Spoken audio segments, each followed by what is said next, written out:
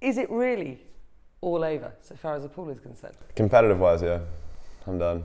That was my last race, and, and this is my last Olympics, and, and uh, yeah, you know, I'm, I'm, I'm ready for the you know the next chapter in my life. So when your great friend Dara Torres tweets, "I'm betting Michael Phelps isn't done with swimming," anyone care to wager? To which you fired back, "Yes, I would love to."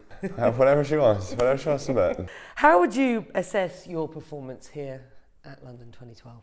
I finished my career how I wanted to. You know, looking back, I can say I've done everything I've ever wanted to. So I, I don't think that's too bad to, to be able to look back at your career and say that. So Let me suggest something to you. The South African Chad le Clos beat you here in the 200 metre butterfly. Would you rate that as a worst moment?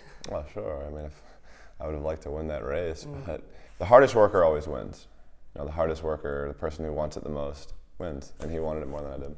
Let's talk about the other swimmers around you. Yannick Agnel, France. Yeah, I mean, it goes on and on, doesn't it? Ryan Lochte. Who do you rate and why? you know, we saw some amazing times in the pool this year. And, and you know, I, I said to Yannick, his 200 free is probably top five greatest swims of all time. It, it, it's going to be cool watching these swimmers grow over the next four years and, and, and, and seeing uh, the times that they swim. You know, that's something that, that I'll definitely still, still taste, uh, stay in tune and, and check out what's going on. Make of the doping allegations around the, the, the 16-year-old Chinese swimmer? It's kind of sad that, you know, people have a great swim, and that's the first thing they say. You know, it, um, people who work hard, it shows, and and um, I, you know there are people who just jump to that conclusion sometimes, and, and it's not right. Being able to watch her was, was pretty amazing. You know, I'm, I'm happy I actually outsplit her in the last hundred. So As opposed to Ryan Lochte, of course, he's I swam slower outsplit. than her in the last 50.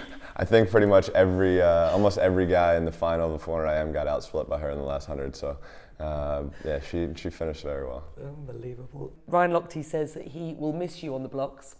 Do you believe him?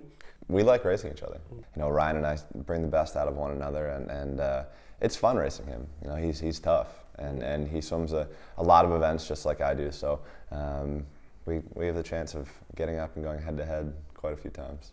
If it really is all over, and I've got to believe you, because you keep telling me it is, what are you going to do next? One of the biggest things is, is you know, being able to work with my foundation um, more and, and, and, and my swim schools and be able to see kids sort of, you know, build confidence and, and uh, have goals and have dreams and, and eat healthy and um, you know, make all these decisions that are going to affect their lives forever um, is, is, is something that's really special to me. And, and I, I love being around kids. You know, it's, it's a real true smile whenever you're around them, and it's just fun. You going to start a family anytime soon? I don't know. I gotta find a gotta find a girlfriend first. Maybe you'll have time now.